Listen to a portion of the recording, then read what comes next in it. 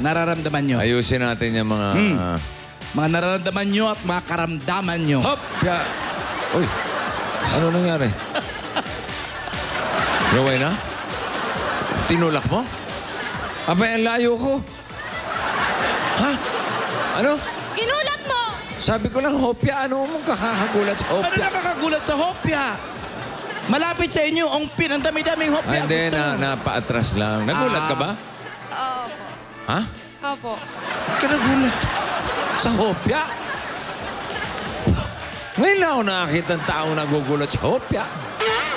Alam ko, nasasarapan sa hopya. Oo, daming Ano choices. paborito mong hopya? Baboy. Baboy. Oo. Ako, munggo. Oh, yung masarap Hmm. din yun. Ikaw. ano? Ube. Hopya, hopya. Pang ube. Oo, Wow. masarap din. Social. In fairness. Ikaw, may ba sa hopya? Opo. Sarap, di ba? Opo. Hopya ang hapon. Yung may dollar. Meron pa ba no? Pero bang ganun? Wala na yata, no? Halika na. Ah, sige, pag-usapan muna natin. May 100 dito.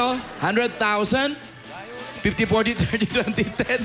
Ingat ka lang sa dahil dito may butata! Ayun na, oh. Oh. Kasi naman eh.